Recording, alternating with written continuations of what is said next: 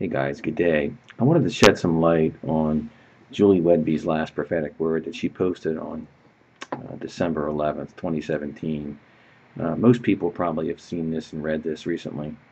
And uh, I was struck with some of the references that were made in this word. I mean, this word makes it sound like we're like right at the doorstep of these events, these three days of darkness um, that are coming to uh, to all those who dwell upon the face of the earth. I think that's what's talked about in um, in Revelation three. But uh, you guys can read this. I'm not going to read it word for word, but there's a couple areas that I just think we should make light of. Now, um, this is a Holy Spirit inspired prophetic word.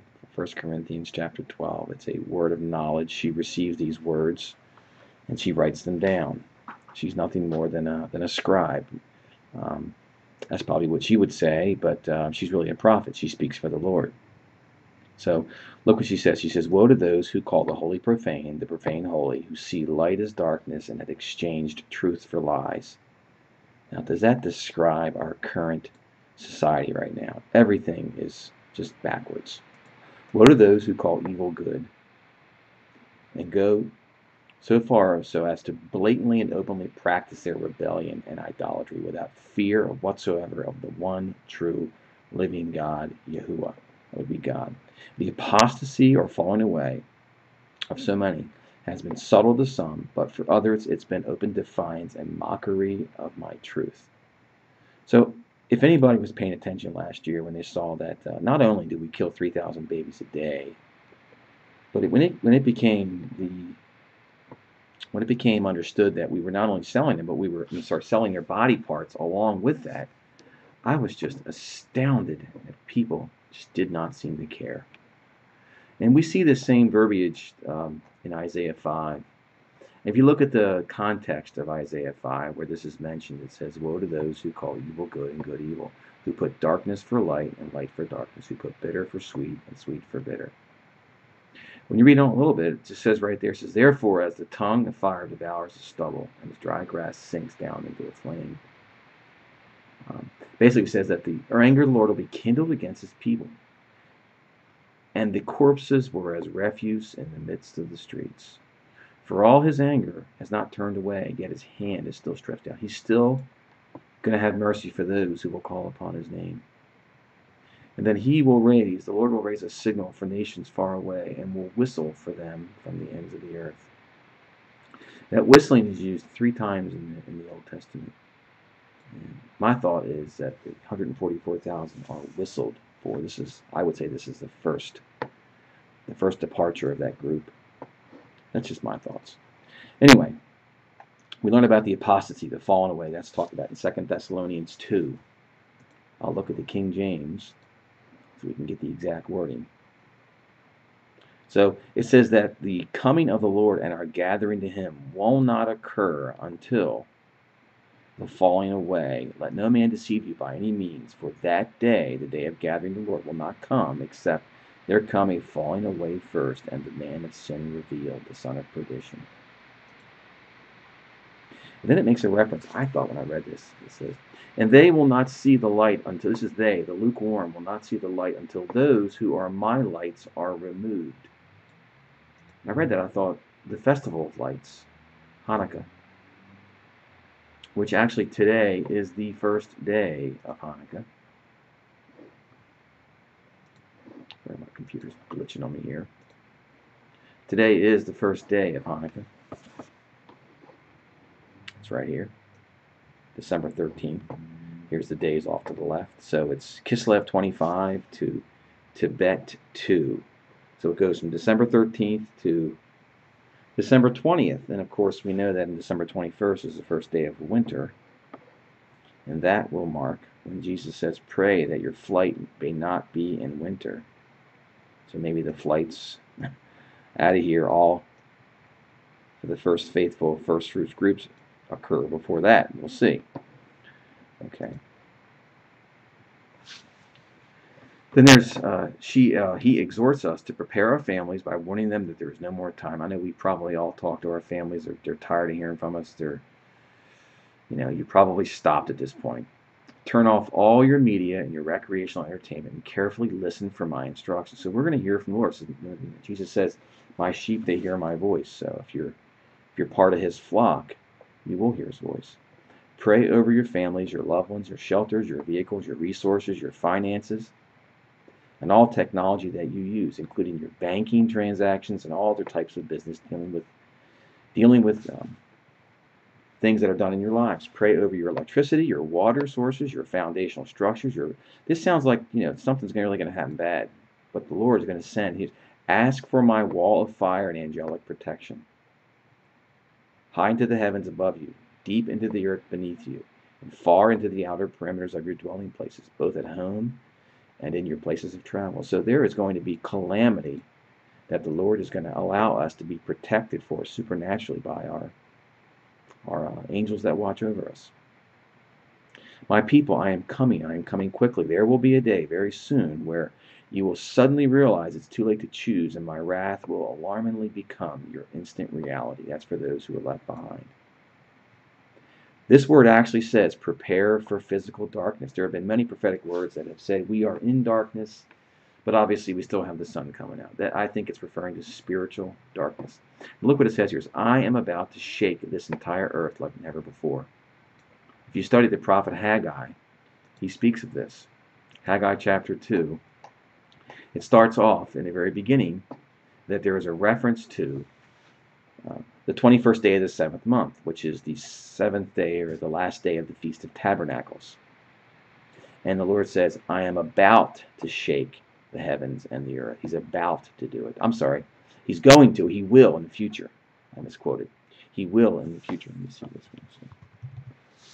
Yeah, right here. Verse 7. I will shake, in future tense, all the nations, the one whom all the nations desire will come. You jump down here, you see that a little while later he says, I am about to shake. So we're getting closer. So, but this is on the 24th day. So the word of the, the Lord spoke to his prophet, prophet, prophet Haggai this, uh, for a second time on the 24th day of the ninth month. He says, I am going to shake the heavens and the earth. So it's, it's not future tense, it's like present tense. I will overthrow kingdoms and destroy the powers of the nations. I will overthrow the chariots and their riders. So we saw this initial warning back in the September timeframe, but now we're hearing something in the December timeframe. If this is the year that the Lord chooses to fulfill this, it's really now. Because when you look at the the calendar, the 24th day of the ninth month is basically now. So he's telling us I'm about to. He's getting ready to. Today's the 23rd, uh, 13th of December. Okay, so prepare for physical darkness. I'm going to bring physical darkness. I've never seen a prophetic word has actually said this so plainly and with the, the tone that it's, look, I am going to bring about physical darkness once again on the earth in order to shake the, the hard-hearted as well as the lukewarm, the apathetic and the com compromising ones who still remain stubborn. These are for the folks who just won't listen to these warnings. The experience during this time of darkness will be very specific to each soul's journey and intimacy of intimacy with me. A great peace will and joy will accompany those who already have a covenant with me, those who are already his. Peace and joy will come. Where do we talk about peace and joy? Dare I say over the Christmas holiday? Okay. I tell you a great mystery. This is for those who have co labored and those who have gone down the narrow path. The bride of Christ, those who are already His. He's going to say, I tell you a great mystery. It's about to be revealed to you. For you will see, sorry about that. Let me just go ahead and get rid of that right there. For you will see nearing the end of the third day of darkness. I'm sorry, for you see you are nearing the end of the third day of darkness. So this group has already been in darkness. Third day. Then it makes a reference down here. It says, At the end of darkness I speak of having experienced both in the natural and in the spiritual. So we, the 144,000, the bride of Christ, have experienced darkness in the natural, which I would say maybe is August 21st, as well as spiritual darkness for the last three days. The Lord is speaking us, speaking to us. So I thought to myself, if you go from August 21st out to sometime in December, I think December 19th, that's 120 days. And we learn from Scripture, could that be three sets of 40 days?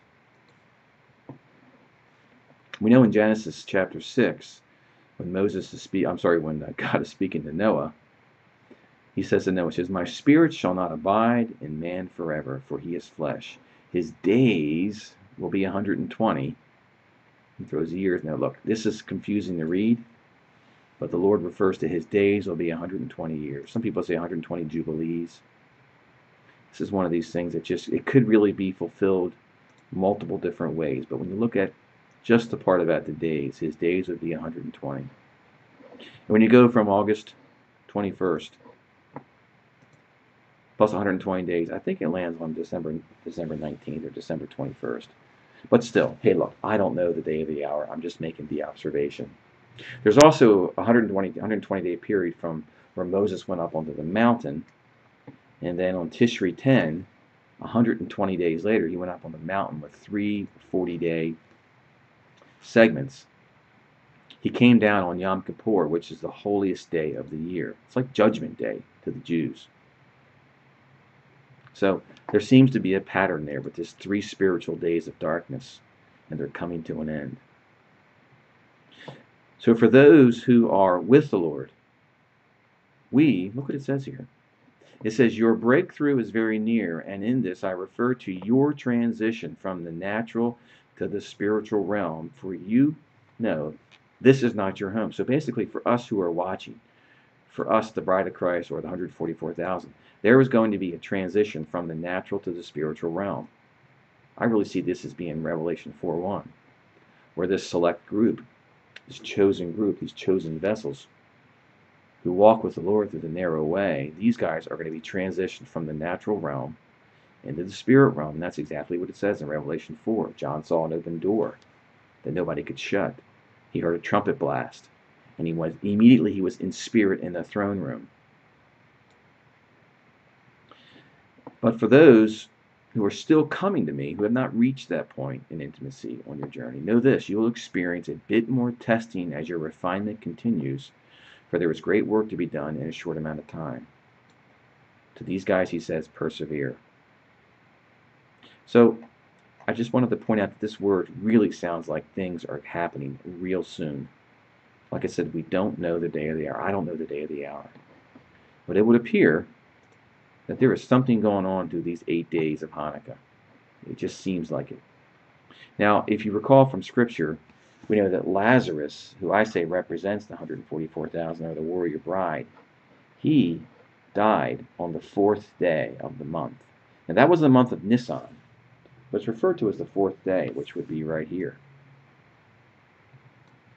And then he was raised on the eighth day, which would be the 20th of December. So I'm just looking at patterns and making speculations. But once again, I do not know the day of the hour. So don't, please don't accuse me of that. I realize that. How many times are people going to put comments up where they post a scripture from Jesus? It's just a speculation, guys.